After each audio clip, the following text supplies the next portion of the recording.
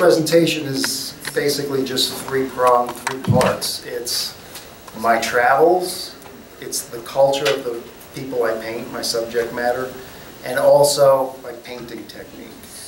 So, and it's how they all three entwine. Because obviously, you see my subject matter, they're, they're natives from all over the world. So I'm going to first start, and you know, pictures a thousand words, as we all know as artists, um, and a, a moving pictures even more. So I'm going to start with a five-minute movie, uh, some of my travels, and I, uh, it ranges from South America to Southeast Asia to uh, the Tarahumara, which are my favorite people to paint. So it's about five minutes long, and it really says a lot of what I do.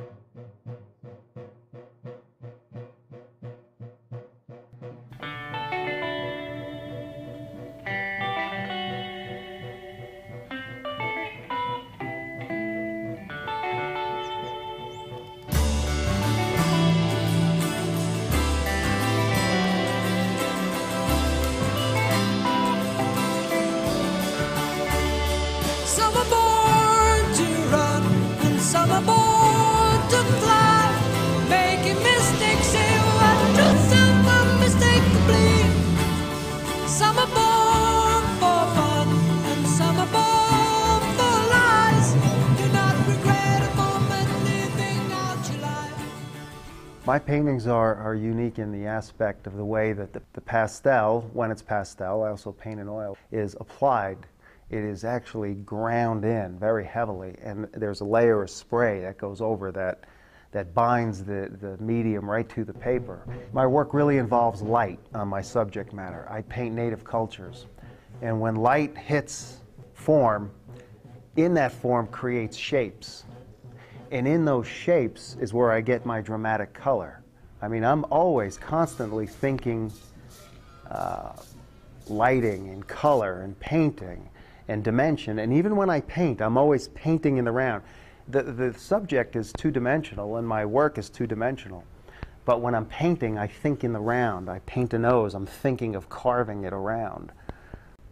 I have an affinity with the people that are most primitive, and um, that affinity has brought me to paint them.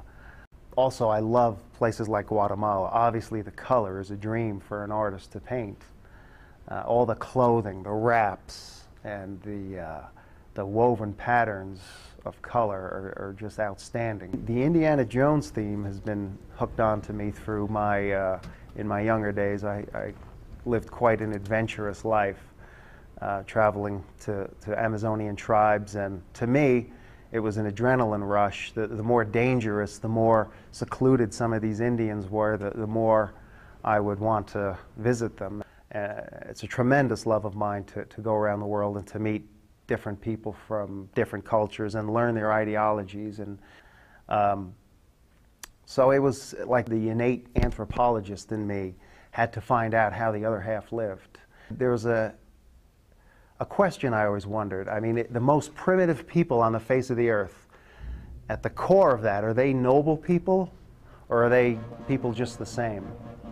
I, I, I believe I discovered that um, the simple life is, is, is more noble. There would be times when the, the places I would stay would literally be under the stars. So uh, you just have to make ends meet.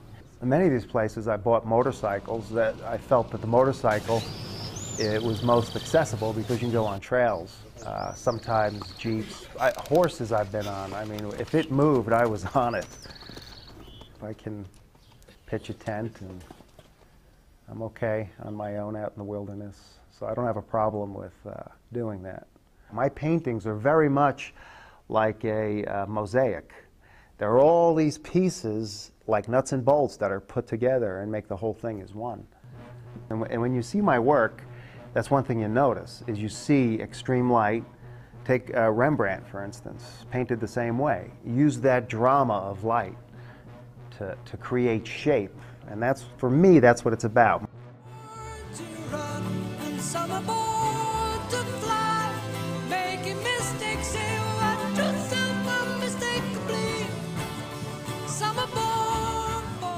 What I paint is designed to give the viewer the experience of that particular culture. You know, these paintings are my poetry, and I, I just hope that the viewers can interpret them. And I've traveled millions of miles and hiked thousands of trails and endure, endured all kinds of hardships just to reach my subjects.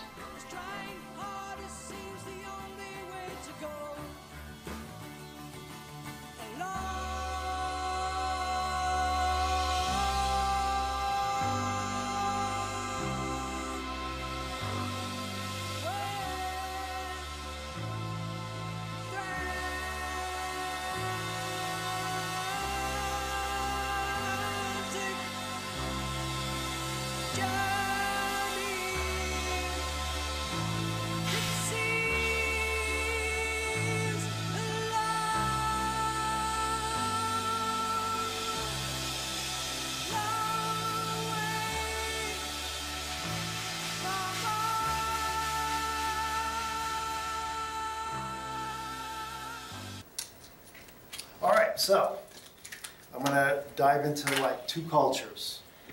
One is the Amazon, and then the other is India. Now, in the Amazon, I made several trips from the, in the 1980s, mid 80s, all the way to the early 90s. And I went to, you saw some footage of some of these people. And the first one I went to was a tribe called the Taikuna. And you can't, a tourist just can't go and fly in. You have to have special permission. So, I I probably should talk into the microphone. So, um, in order me to get the key to get into the, to get to see these people, um, I had made a National Geographic on assignment fake pass. So back in the 80s, X-Acto knife, color copy machine, National Geographic magazine, I put it all together.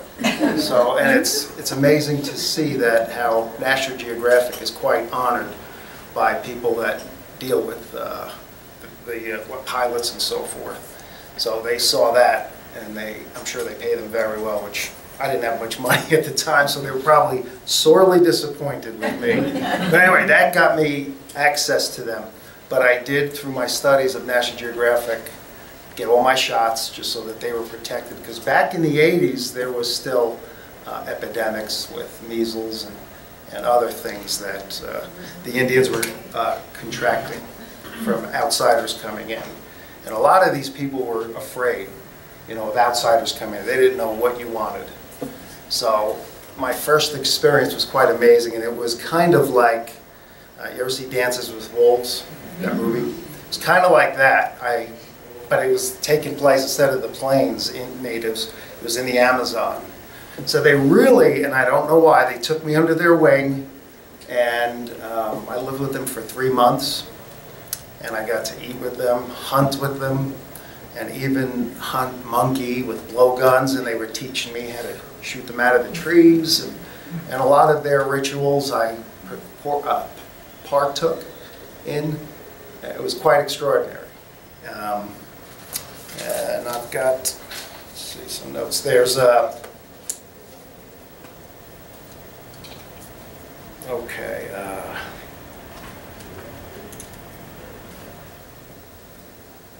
Okay, with the Taikuna, I saw this practice called Teltsa. It's been, by the way, I don't know, 35 years.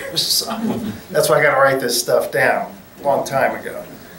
So now, this Pelazón ceremony is when a girl, she has her first menstrual, uh, the menstrual thing going. She has to wear, she wears a dress made of eagle feathers and shell snails, and she must jump over a fire all night. Yeah. And then it's, it's it's like a, after this, she's considered a woman and is eligible to marry. And um, so that's one kind of strange thing that they do, amongst many others. There's this stuff called, uh, that we ate called manioc, and it's kind of like a yam.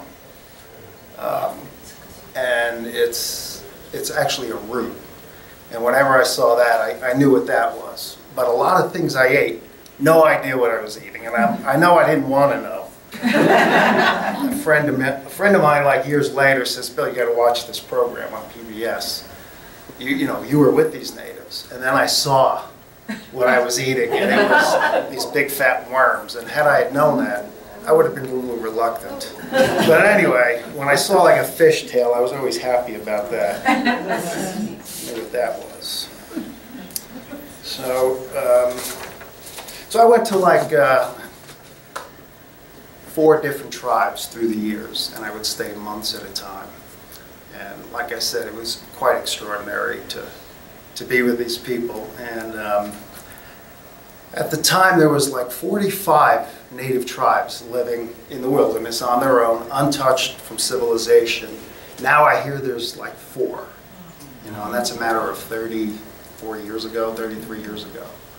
So it's quite diminished. There was um, a tribe I went to go see, was called the Kofan tribe. Now this particular tribe, we had to hike through three days through the jungle to get to them. And there was a neighboring tribe called the Jivaro. Now in the 80s, there were still headhunters. So there was these little frontier towns that I'd first go to to get you know, access in. I, I couldn't get flown into this particular tribe, so we had a three-day hike through the jungle, the Amazon. And it's a, like a living hell to do that. Believe me, you don't sleep. And the, the, uh, the jungle just moves. It's constantly moving with life. You can break, you can get on your knees and break it down to one square inch. I'll guarantee you something is alive in that square inch, you know, other than a plant, mind you. um, so we had three days of this, and the, the guide had warned me. Said, I have to tell you, this is very dangerous because if the Jivaro catch us in their territory, we'll be a necklace. And he showed me pictures of the Jivaro and showed me shrunken heads and so forth. So he says, we're taking a big chance. He says, I'm going to really ask for a lot of money because I'm risking my life to take you. I said, okay, how much do you want? Well, he wanted, uh, you know, translated into dollars, a whole $60. So I was like, you drive a hard bargain, but okay. so we went, and I'll just tell you kind of a little Indiana Jones story. We went about halfway through, like I said, you don't sleep, literally. You know, we had hammocks, you got to be off the jungle floor. And in a musketeer because the mosquitoes are horrible.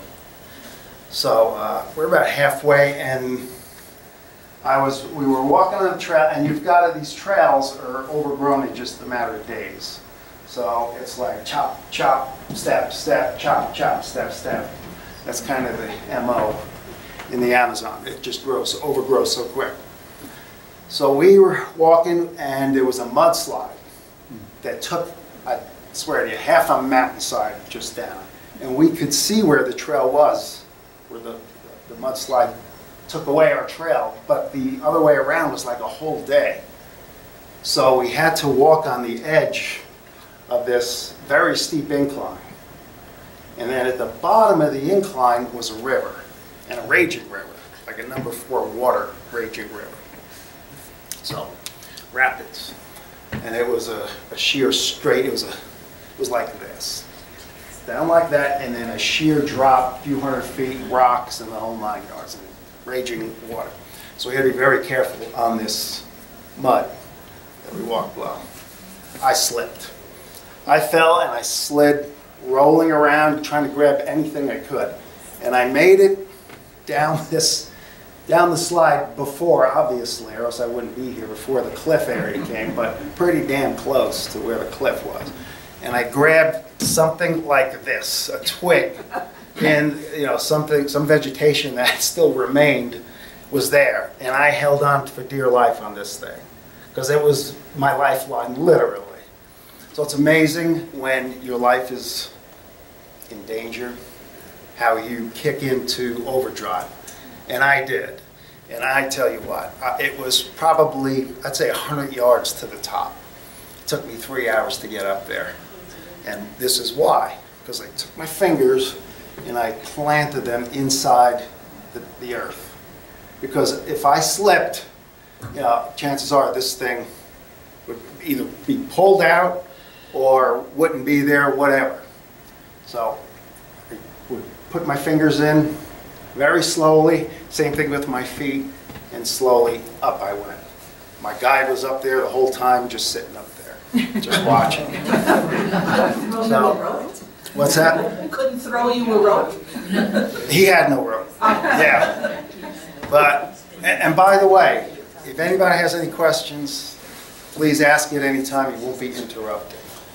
So, anyway, that's just one little story about the Amazon and, and, um, but the interesting thing was the, the, the culture and how they lived and how they survived. And everything was revolved around survival.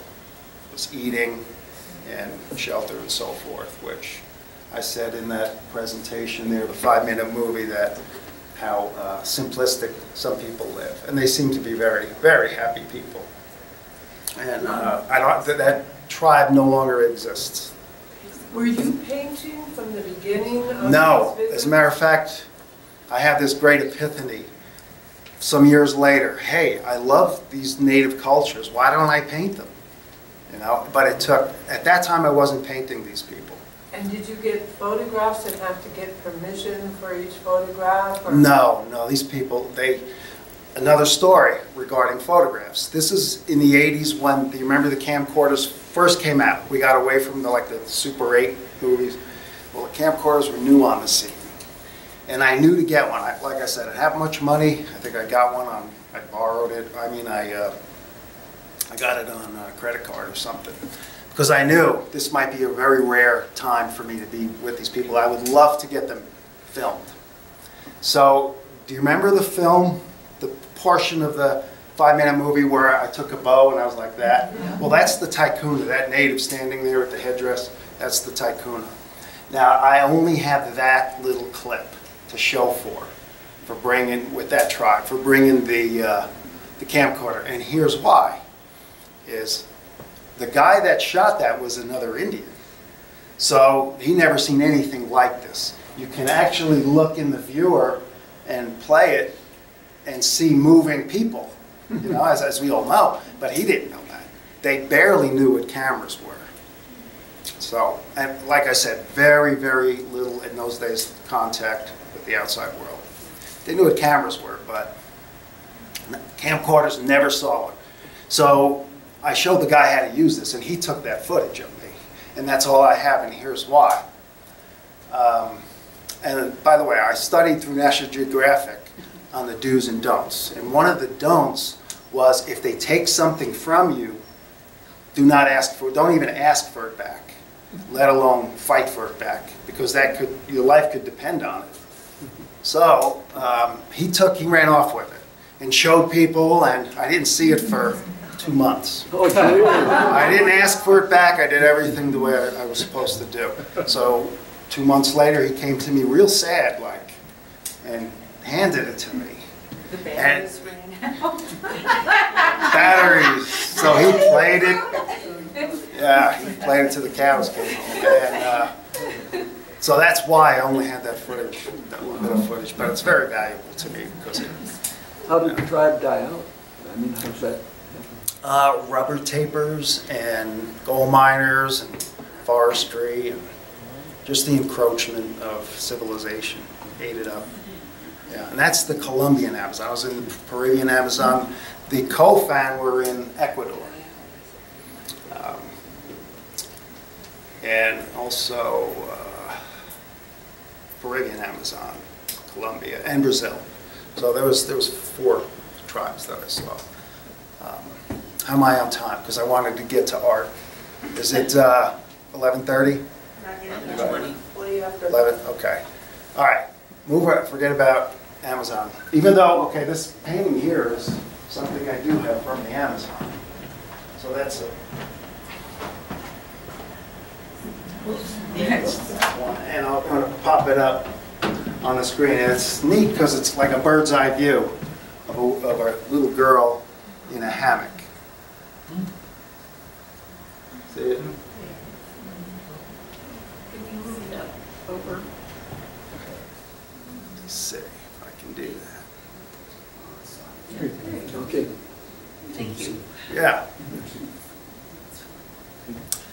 That that's the only one I have to show you of the Amazon, and I have very few of those. Um, okay, India.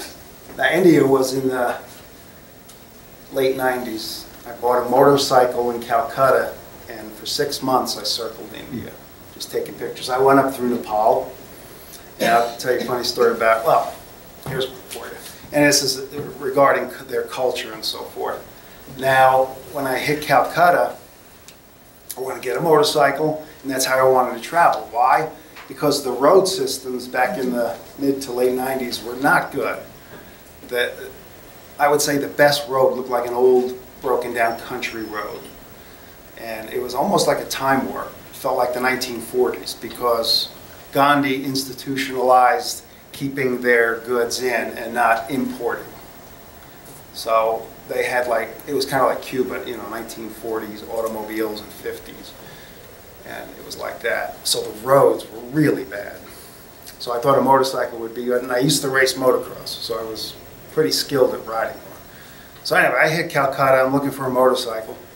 And I see this man, motorcycles, looks like he's going to sell them.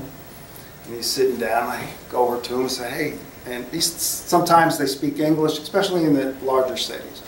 He spoke English. So I said, you selling this one? I kind of like this one. It was a 1952 Enfield motorcycle. And like I said, they're old. so uh, he, he goes like this. He did this little shake, almost like a dance. So I asked him again. He didn't say anything. He just did this thing like this. So I asked him again, uh, you selling it? He does the same thing. Shake. I said, ooh, he's got Tourette's. so I go to another guy. I said, hey, those, yeah, go ask him. I said, I did, but he, he, did, he did a dance. so I go, and then he says, yeah. So I thought, what in the world was that? I said, I like that. How much you want? I bought it. Long story, it wasn't so easy to get a permit. Yet in India, you got to pay people off. You really do. It's a very corrupt system, or it was back then. Hopefully, it's better now. But uh, so I hit the road and uh, went up through Nepal. Now, when I hit Nepal, I look on my map. I look on the map, and to get to Kathmandu, it's, a, it's one inch on the map. Okay? So I'm at the border, and and this is from the border of India to Kathmandu, one inch on the map. The guy goes, don't go that way, go this way. So if you measure, oh, it's one foot. So I said, one inch, one foot, I think I'm gonna take the one inch way, even though I was advised not to. Turns out that was very good advice, should always listen to the locals. And I didn't, and I was in for it. Why? Because it was, I, we went up through the Himalayas, or I did, and I even hit snow. It was a good thing I used to race motocross, because it was like a 300 mile motocross track. It was so bad and rough. Now get this. This it, it was so far that then there's no gas stations. It's you know. I ran out of gas about a quarter of the way there. So, and it's strange because inevitably I always get out of things, and I don't know how I must, I must have part Mr. Magoo in me or something, but I always get out of these situations. I run out of gas, there's nothing in sight. And there can be 50 miles and you don't see anything but wilderness. So I, I put the bike on a kickstand, start walking. Half a mile, I see a building. I, walk, I go knock on the door, there's a person there. Hey, ran out of gas. He doesn't speak English, but I, I make my point. He said, I'll sell you some. I got in Coke bottles. So I get as many Coke bottles as I carry, I go back, but it's very costly. How much? Three bucks is gonna, well, okay. so with the Coke bottles, I filled up the, the motorcycle and off I went. But this will shock you, I think. Right about halfway up, and this is when I was at the, about the highest, and I didn't have clothes well enough to be in snow. I was in snow on that motorcycle, sliding around in mud. And I saw, sitting on the side like two humans, about six foot pure white monkeys, two of them, sitting on a wall. So I'm riding like this, and I look left, and these two monkeys just, or apes, I don't really know how, what they were. They were the, they were the white Sasquatch, but they were big. And they were white, and they looked at me as I was making the turn. I looked at them. I don't want to stop. They Probably didn't want me to stop either, but incredible. So now, and here's some of these cultural barriers. Oh, let me get back to the shaking thing. So traveling through India, I found, I saw this as a common thing with them. They, you know, when you ask them a question, they'll do this. And it, it's in between yes and no. Yes. It's a bit strange. But anybody that's been in India knows that that's body language to say yes. You know, they do this thing. But all over India, not just in Calcutta. So I want to explain that, that the guy did not have Tourette's. But anyway, okay, so up through Nepal, um, and here's one of those cultural things. I knew not to put your hand on a child's head because you pat down the chakra. So I went to many villages. I had an interpreter on the back of the motorcycle. Had I done that, it would have been trouble for me in those villages. So, and I do that. I mean, my instincts are to pat kid on the head and so forth. But, and had I done that, like I said, it would have been trouble. It's, one of those cultural things. If you don't know, you can get yourself in trouble. So, so anyway, okay, that's my a couple of my travel stories. So we're going to get to art here. And let me get my text.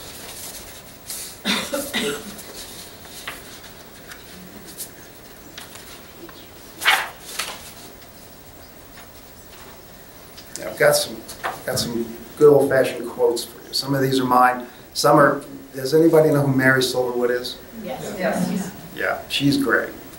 She, to me, is a legend. She's a brilliant artist. So some of these are mine, some of these are hers. So art quotes. Here's one. You should remember, it isn't what you see, it's how you see it. Okay, another.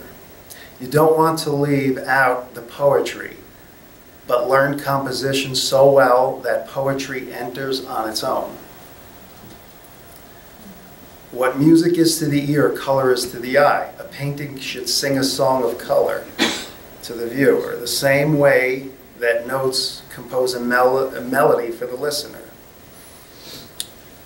Another, to make good art is one thing, but to make extraordinary art and move away and move way past what is considered good art. Everything matters composition, choice of color, value selection, style, and design. Like making a cake of quality, all the right ingredients make a good cake, right? So, same is true with art. It's not one, it's everything, all at once. So let me pull out my art here. Let's get, let's see which one was first, this one here. Okay, I'm gonna also pull it up on the screen.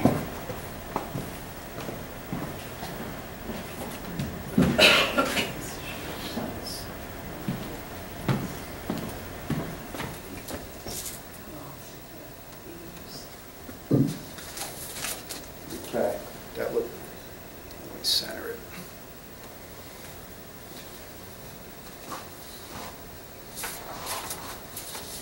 Oh, here's another one, okay. It's good to know the rules before you break them.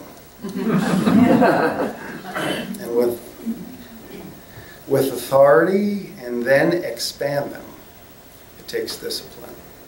So, and that's true, especially for me, because I'm not formally educated in painting.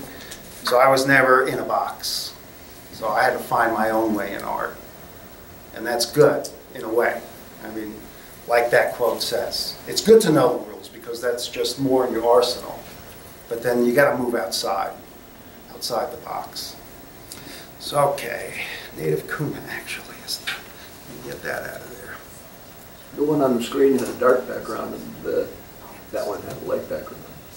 All right, that is a native Kuna. I spent uh, two weeks in the San Blas Islands photographing these guys. They were a pleasure, really good people. Okay. Let me, there is a particular. Panama. This is Panama, that is correct. There's actually, maybe not. All right, let me zero in on the face. So I want you to see the face here. Yeah, that's pretty big. Now, I, I counted the colors in this face. There's 48 different colors, none of which are flesh tone, yet it looks like flesh, right? So that's kind of my thing is, is the colors in face. I think a lot of people recognize my work through the faces. And there's many complementary colors. With some, they're off key, right next to each other. For instance, look at that little slice of color. And this is kind of fleshy, but this is not so. So I've got complementary colors working all through the piece, but then I'll throw a little monkey wrench like that, and little dots of blue and so forth. But yet it works, right? I mean, up close, it's, it's an abstract painting. But you go distance from it like that, and it becomes, you know, more, we'll say more realistic. So, and like I say, that's, I'm kind of known for reflective colors, and that's what a lot of this is in here, is reflective colors. And these reflective colors really come off of the garments from the greens in the jungle. There's bouncing colors. When sunlight hits, for instance, um, her blue shawl there, you know, it'll, there'll be blue bouncing off for cheek. And what I do is I exaggerate. You know, I pull that blue out and really show that. Like right here, you got some green blues working, right? So that comes from the, the sunlight coming right off her right shoulder there. I have a question. Yep. Did the subjects that you painted see your finished work? You know, and sometimes I'd go back, especially amongst the Tarahumara, with my little 8 by 10 chiclets that I would bring and give them. I'd give them their photographs, but also show them some of my work. Very pleased all the time. Yeah. For instance, in Guatemala, I was with the Ixil, and far removed from civilization in jungle area. And this uh, couple didn't know I was up in the hills photographing, and I photographed their wedding. So I went back three years later with a stack of photos of their wedding. And it was beautiful because they had all the best colors out. And uh, the woman just cried. She said, I had no idea you were anywhere, you know, around the vicinity. She was just enveloped in her wedding, obviously. So it was neat to see that kind of reaction. So But- your, your movie, in your movie, it shows you sketching on Right. site. Do you, do you do that also? Yes, So yeah. you bring your pastels? Yes, mm-hmm. occasionally, not too often, but usually it's just sketch work. Yeah, just to keep that fresh. And Yes, when you were in the film where you were sketching, Right. what interest did the, your subject show to your drawing? I mean, a photo is one thing with Right. a camera, but What was their reaction to my painting? yeah.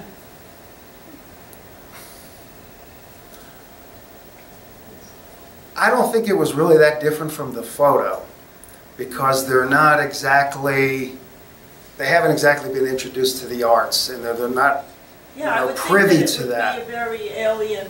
it is, it is. A lot of them, unfortunately, or I don't know, I would- maybe we shouldn't say unfortunately, but, you know, the, the, the thought of exploitation enters their mind. Oh, so you're making money, you know, off of me kind of thing. So to counteract that, and I know intuitively, I know that, that happens, and, and sometimes for good reason, to, to counteract it with bringing the people, and I always come bringing something. You know, a lot of people I know now, like in the village of Choguita, I brought generators to them, so I do come giving. and I just don't want to take from them. And also, I ask some of them, can you, and I don't like necessarily posed shots. I like them just going about their business when I shoot. But occasionally, I'll, I'll do a post shot, but I'll pay them, you know, whatever they want usually, and it's usually not very much. So, but I've been, you know, in my younger years, I've been in trouble with my camera. I have everything you can think of thrown at me. So, big trouble. I once ran from my life in the jungle because of photograph. And in this, in this case, it wasn't me that took the shot. It was somebody else. And we had to run out of there for our lives. So, and that's a, another Indiana Jones story, it's a long one. But, okay, let me, what else about that? Okay, yeah, for me, the drama of light, along with the effects of color, create an int- interesting array of definely, of fine defined shapes. And like I said when I spoke in that film, it's the nuts and bolts for me that put it all together as one. So it's these shapes that just fit. And by the way, if you get the shape right, and you all know this as artists, if you get the shape right, you don't really need much detail to follow. But getting that shape is essential. So, and obviously, the values too matter. Okay, so that was the Kuna.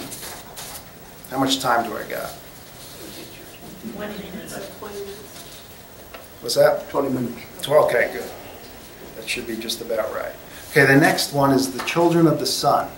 These are the Tarahumara, and that was from a photo. Now, I paint with photos. So I take them to the studio, and I have a process with that. I'll make an 8 by 10, but now I have this giant monitor about this big, right above my easel. So I can make the nose this big. And there's a, you can't print out um, enough color that the monitor picks up. The monitor is always better. But it's good to have two references because it, the printout will, will have a different color, different hues than your monitor. But in the darks, you don't sit, don't print out well. And that's where you can pick up a lot in the monitor is in the darks, you know, in the shading. So I use both as a reference. I also make a black and white, and that serves me for values. So I actually have three references. So you all might want to try that, see if it works for you. But okay. So this one is called Children of the Sun. And uh, my process starts out with mapping out shapes. And I always go with the highlights first. So the focal point for me is always the faces. That's where the power lies. So, and I'm a figurative painter. I like figures, and I like figures with landscapes, but I always like painting figures. I just think there's more power in it. Um, and I'm very careful to draw the contour lines of the shapes. So how I map it out is I'm going to paint, or I'm going to draw this. See all that? All the shapes in here? If you took away the paint, you saw the drawing, you would see all this is drawn out. You know, so I call that mapping out. So, and I paint highlights first, and I know we're taught to go from dark to light. I don't do that. I go from light to dark. Sometimes I'll go from dark to light. So I just work with both. So, um, like I said, it's mapped out, even the clothes, the highlights, little strip, all the highlights in the clothes, all that's mapped out with drawing. And like I said, if you get the shape right, especially in the faces, anatomically you get it right, um, that, uh, that's, that's a major plus. You don't need to, to get much detail afterwards. Is the drawing on a separate surface than what the, what you use for the painting? Or do you draw on the same surface you No, it's, paint on? yeah, and I typically now, I, I gesso boards. You know, I'll put pastel ground. I also paint in oils too. So the past two years, year and a half, I've been painting in oils, started that up again, and that's, that's been good. But I know we're the Pastel Society, and these are pastels. So, and you can kind of see the intricacy of all that. And like I said, it's a mosaic style painting, you know? It's very abstract, but you get away from it, it, it works. See that? Is that picture on the screen the same as the painting that's on this thing? Yes Or and You no. did it twice? I- Yes. Okay, That's, that's the candy cane girl there in the white, okay, and this one's a little different. yeah. Yeah. Mm-hmm. And the We know this background is- is the background. So I painted it twice, yes. And that's not a typical thing I do, but I did in this case. Question, Yes. when you draw out those facial shapes, Yep. starting with the lights, highlights, y- you're not including your mosaic at that moment, you're just doing lights? The, the, the, drawing it out is the mosaic. That's where it starts. I'm doing all the highlights first, even the clothes.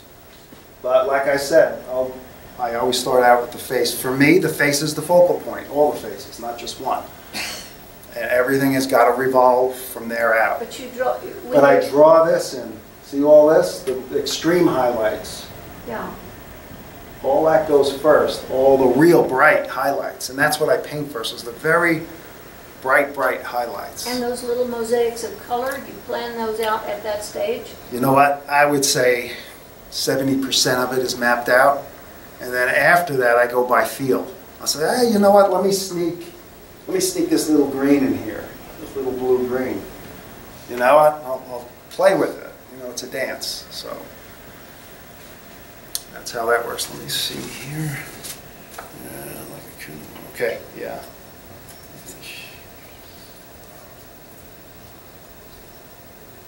Yeah, and like I said, much exaggerated color, but yet that color is there.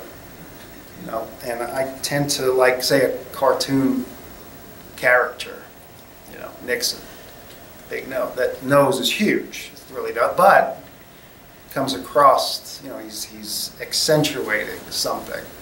I'm doing the same thing, but I'm doing it with color. Okay. All right, next painting. So these ones are actually the ones present here. The corn grinder is the next. There it is. All right, that's the corn grinder. And that's a Tarahumara native. And this pick was like from the 80s. So um, I've gone there probably 30-something times by now. I started going in the 1986 was my first visit to Copper Canyon. I saw, when I first moved here to New Mexico, I'm from New York originally. When I first moved to New Mexico, I went to Juarez in the eight- 1985 and saw these very colorfully clad people in the streets begging. And I asked the local, where are these people from? They can't be from the city. There's a special place here called, called Copper Canyon, Barranca del Cobre in Spanish. So I made a trip there and it was amazing. And my first experience, I lived in a cave with with a family for, I say lived, it was like two days, you know. So I stayed, you know, and they still use stone tools. And I was amazed, you know, I was a young guy, I was early 20s and so forth. And I had no idea 400 miles over the, the US border, people were living in caves and using stone tools. So it was extraordinary to me to, to, have that experience. So anyway, okay. And this is like early 80s, this pic. Did they um, speak English? No, some of them, no, none, zero. Some of them don't even speak Spanish. And back then, you know, further away, like deer, they just go away from civilization, way into the recesses of the canyon. Some of them don't even speak Spanish, only Tarahumara, their native tongue. Did you learn the- those tongues? Oh, I, two words. Yeah, no. Yeah, I can speak Spanish, okay, but, yeah, it's out of my, now this one, um, yeah, let me just say that, you know, there's a lot of great artists that I've seen out there, especially these days. You, you go on Instagram, wow, there's some great talent. But it surprises me sometimes, some of these guys and gals, great artists, like I say, but they lack composition. And a lot of them use colors too bright. I see that time and time again. They don't know how to use neutrals. So, and composition. I mean, like I said, all these things matter. They make, they bake the cake, the good cake that you want to eat. Okay. And yeah, composition, I think we all know, is just the weight and balance of items in the piece. Whether it's the foreground, middle ground, or background, it's the weight. And this, I know, this piece here is a very simplistic uh, composition, but it works. It's a, it's a good composition. Um, you know, it's well balanced with the mountains in the background and then the horizontal lines of the field coming this way. You know, that, that makes good composition. And I know my friend Mary Silverwood, she'd approve of the lines going this way. She was, she was a master of, of lines and the focal point and composition. And she would tell me, it's like a master picking up a fiddle. It's not that he thinks about composition, he just plays it because he knows what he's doing, knows how to do it. So in the same way, an artist should automatically know composition without really even thinking about it. Okay, yeah, the color scheme is, I've used a lot of neutrals. We all know what neutrals are, right? It's muddy down color. In this piece, lots and lots. But, you know, I sneak in some of these bright colors, especially like some of the pieces you saw, the faces. I'll use neutrals, but I'll pop in some very bright color, but not too overpowering. So there's a balance to it. So, let's see. Could you show us some more pictures, yours? Some more paintings? Yeah. Yeah, no, I got another one coming. Good. How much time do I got? I can see this. I got actually one more. And that would There's be, a lot of pictures out there. oh yeah. I click on them. Okay, this is the last one. And then I can click on pictures. You did that one. You've done- Yeah, I did, but this, for me, exemplifies my mosaic style. That's what I call it, a mosaic style, because like I always say, nuts and bolts. And they're, you know, these pieces are very separate. You know, the original's right here. But, Yeah, and I did bring out the corn grinder.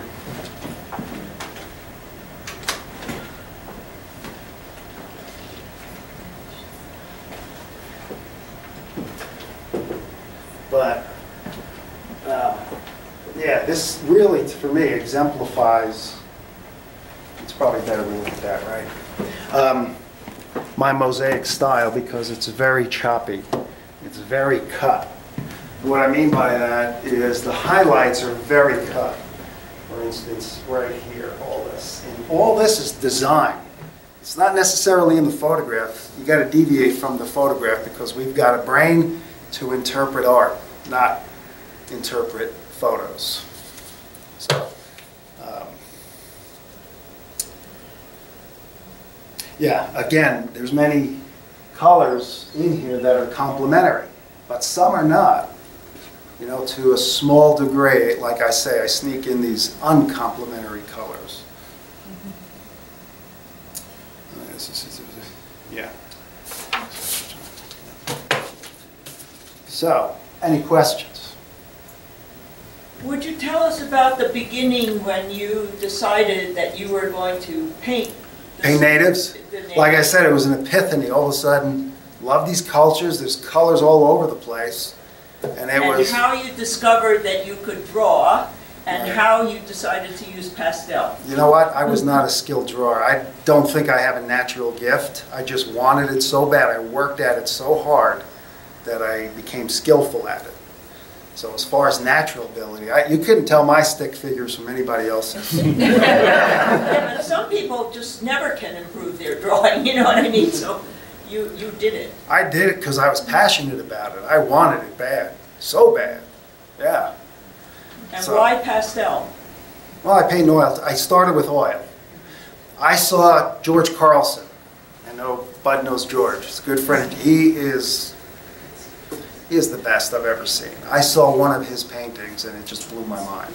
How he used color, and that's what did it for me. And that was in the late 80s or so. I saw one of George's pieces. And I said, I don't know what he's doing, but whatever he's doing, I want to do it. So I kind of mimic George's work. You know, a lot of people, even to this day, says your work looks so much like George's. Yes, it does, but I've moved away from George, his style, because it was his style. You got to find your own. And I always say, make it your own. So speaking of George, I saw him. I did like a pilgrimage to honor him, and to, so I went up to Idaho where he lives, and um, I showed him some of my work. You know, just eight by tens. And he said, "My God, how did you, you know, untrained? How did? Because he's very trained. He's got a doctorate in the arts. He said, how did you come to do this?" I said, "From you, thank you very much, and my friend Mary Silverwood." So he says, "So I taught you without even speaking a word," and he did. Why? Because all the information is right there. His work, when I looked at it, all the information was right before. me. I just had to figure out how he did it.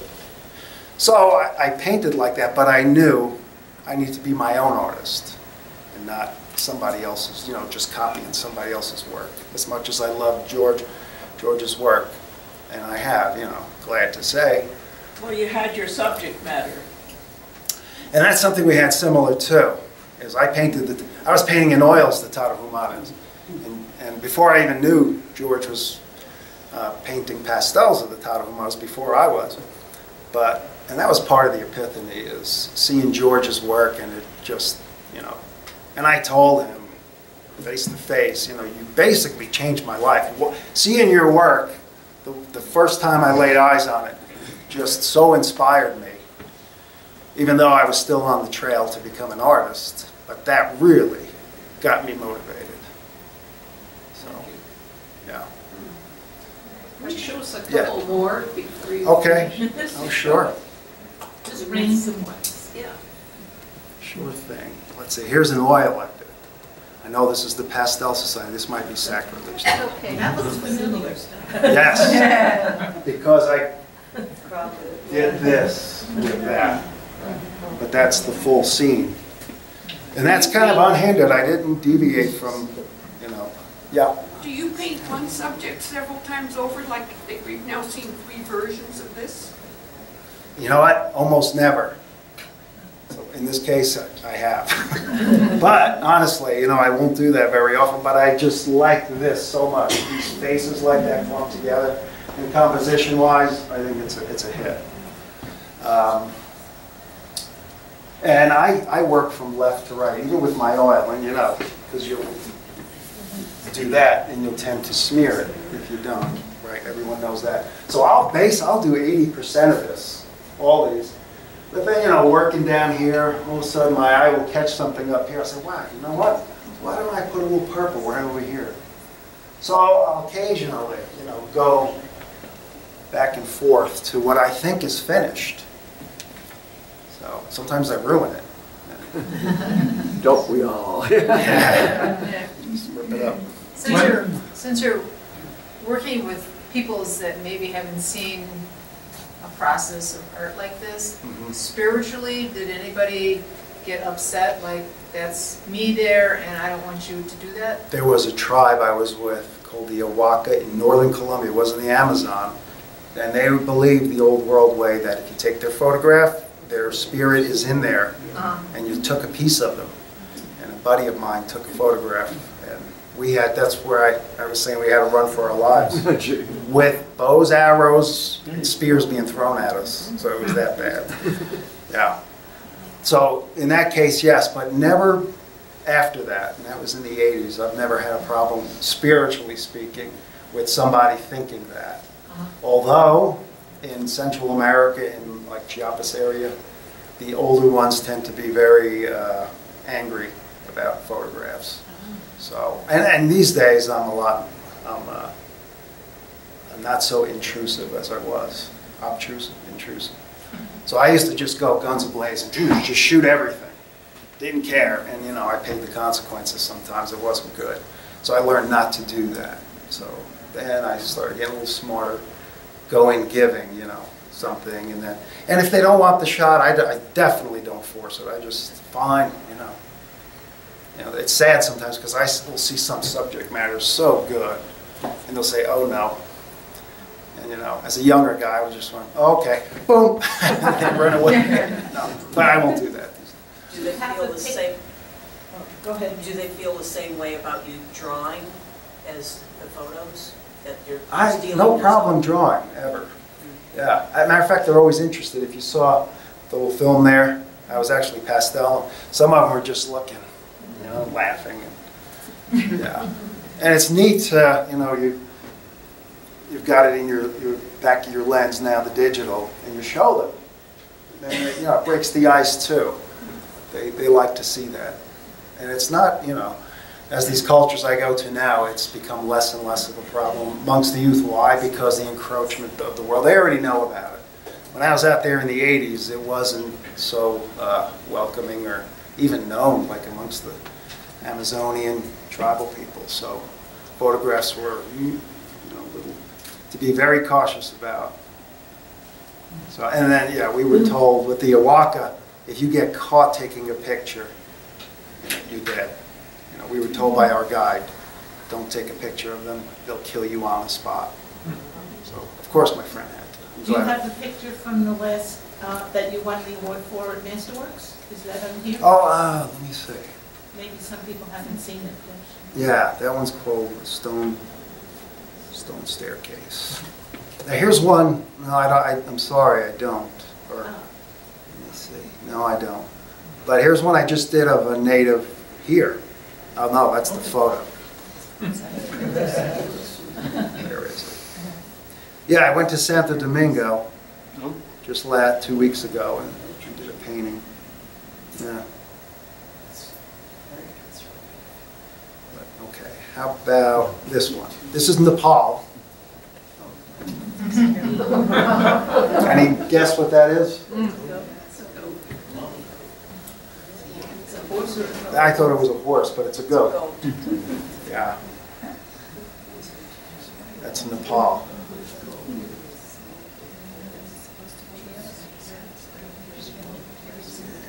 Let's see.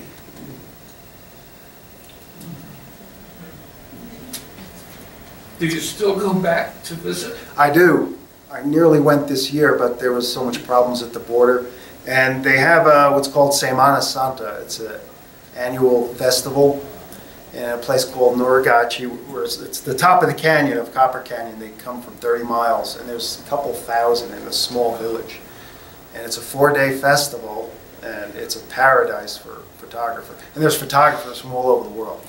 So, and that was in April. It's an Easter celebration, and they mix their uh, some of their native beliefs with Catholicism. They've been doing this Semana Santa for 500 years now. Yeah, and uh, I was going, but there was problems at the border this year about perhaps the border shutting down. I thought maybe I'd be stuck there, and yeah, didn't want to be there for this Christmas.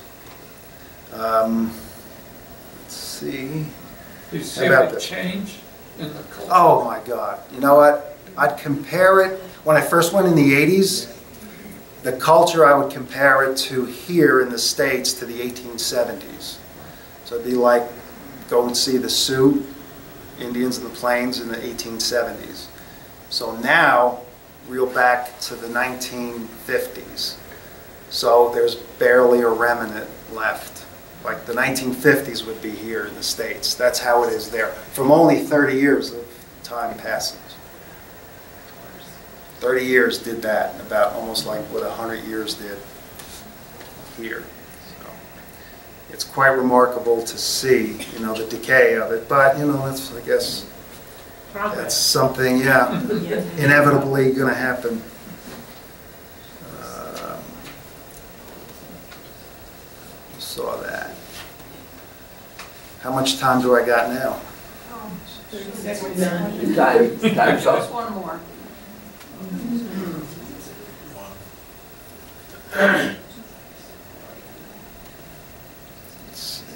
You have some images from India? That's me with uh, some tribal people. That was, uh, I think, uh, the Shipibo in Peru. Um, say again, I'm sorry? Shots from India? Here's one. Ah. Yeah. No, that don't work. Let me see here.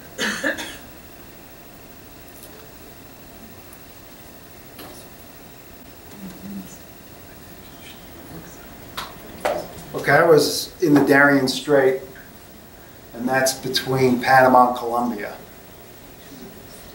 Uh, that was the Chacoy tribe. And then, kind of a quick funny story. When I arrived, it took three days, by the way, with canoes. These guys, I hired these guys to take me in. It took three days. We had to get flown to a place called El Real, and we took a canoe. Three days down these small water passages to get to this tribe. So when I arrived there, there was a film crew doing a documentary on these people from Columbia University. They saw me and they started yelling, out, we have permission from the chief, out with you. So what did I do? I flashed my National Geographic. I said, well, Um, I'm this. Tonight you dine with us, they said. They were very, I mean, I tell you what, National Geographic has got quite a reputation. I know that firsthand. Hopefully I didn't smear them.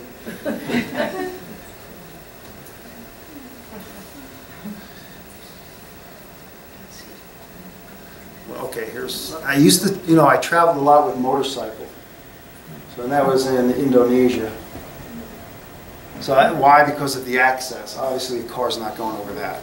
So I, I learned to go by way of motorcycle in a lot of countries. So it was kind of my MO, get off the plane, go right to the motorcycle dealership. Considering all these places you've been, why do you live in Albuquerque? It's better than New York, that's why. Well, It's close also to uh, the Tarahumara, who I, probably 70% of my subjects are the Tarahumara, and it's my favorite. Oh, here's, here's a good shot. This is, I like this painting. And that's, that's a title model. Could you, could you center that? Could you move it over? a? Sure, and that's very mosaic. That again exemplifies my mosaic style. See, it's, the- it's all these shapes, you know, that make it the mosaic. Do you have a photograph of that particular piece? No, Of the I- actual photograph you worked? I do, but I don't have it on here.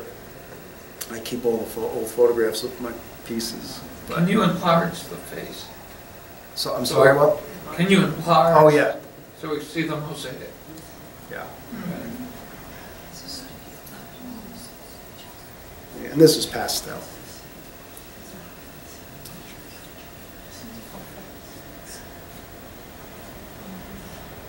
So, and I tend to use uh, a lot of the softer, like Sennelier and Schminke pastels. How fast do you work?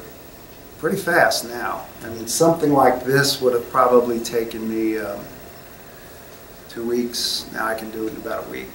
And it's not because I'm rushing it, it's just I'm more sure of what I'm doing. Yeah.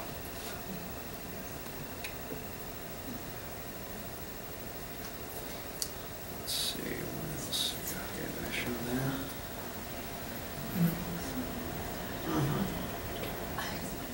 Okay, uh, we'd like to thank you. It's five after 12. so- Okay.